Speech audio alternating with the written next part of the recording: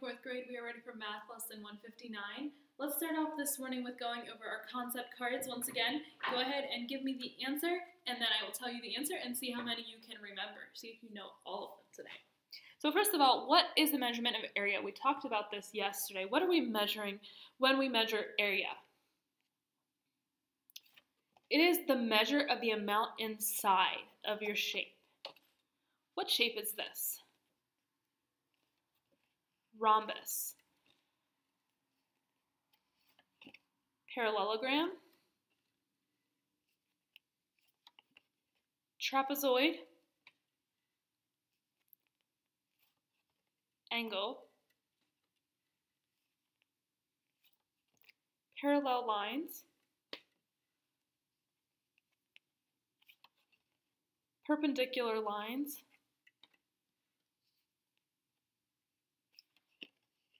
Simple closed curve, polygon, point, line segment, line, ray, right angle, congruent angles, intersecting lines. What is the formula for the perimeter of a square?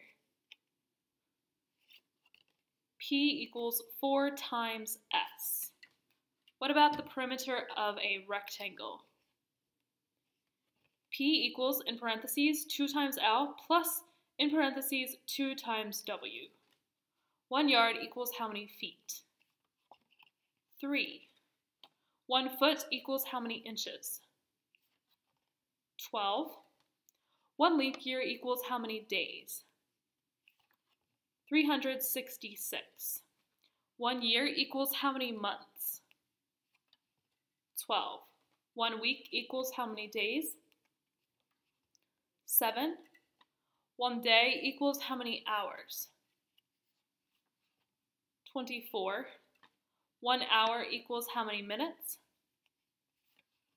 60. One minute equals how many seconds? 60. One tablespoon equals how many teaspoons? 3. One millennium equals how many years? 1,000. One score equals how many years?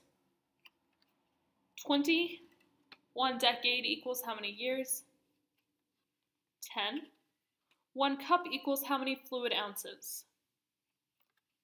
8. One centimeter equals how many millimeters? 10. One meter equals how many millimeters? 1,000. One kilometer equals how many meters? 1,000. One hectometer equals how many meters? 100. One decameter equals how many meters? 10. One meter equals how many decimeters? 10. Hecto means 100. Deca means 10. Milli means one thousandth. Centi means one hundredth. Deci means one tenth. Kilo means one thousand. And Roman numerals, we haven't had these for a while. Roman numeral for one, five, ten. 50, 100, 500, 1,000, and one dozen e things equals how many things? 12 things. Okay, so yesterday we talked about area. What is area? Area is the measurement of the space inside a shape, whatever we are measuring. So today we're talking about finding the area of a rectangle. Now, we talked about how we can find the area of something by counting the square units because remember, we're not just measuring length, we're measuring square units of something. Like I had a square yard up on the board. So we could just count the squares inside of something to measure its area. But if we would do that all the time for all of our shapes and all of our rooms and everything that we're measuring, it would take a while to just count every square unit. So there's a quicker way that we can do that that we're going to learn about today. And we have a formula for that. So for today, for finding the area of a rectangle, what we need to do is to find the length of our rectangle and find the width of our rectangle and multiply them by each other. Now, the length of something is how long it is, which means it's the longer side. The width is the shorter side of, of your rectangle, okay? So take your length across the room and multiply it by your width. And that is your area. So we have a formula for that to help us remember, and that is A equals L times W, because A area equals length times the width. So let's go ahead and work this. I have two sets of dimensions here for two different rectangles. The first one has a length of 4 feet and the second one and the width a width of 3 feet. The second one has a length of 9 inches and a width of 6 inches. So let's go ahead and write this down. We have area equals length times width. That is our formula. Whenever you want to find the area of a rectangle, that is what you should use. So now we have area equals 4 is our length, 4 feet, times 3 is our width, 3 feet. So just copy that down. After you write your formula, go ahead and copy it and put your numbers in in place of the letters. And then figure out your answer. 4 times, 12, 4 times 3 equals 12. So our answer is 12. Now our unit is feet, but remember we're not just measuring length.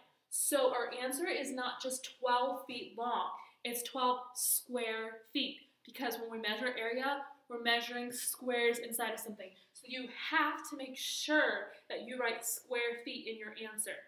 And a shorter way than writing the whole word square is to just write SQ dot and then whatever your unit is. So 12 square feet.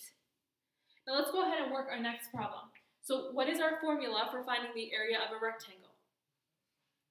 A equals L times W.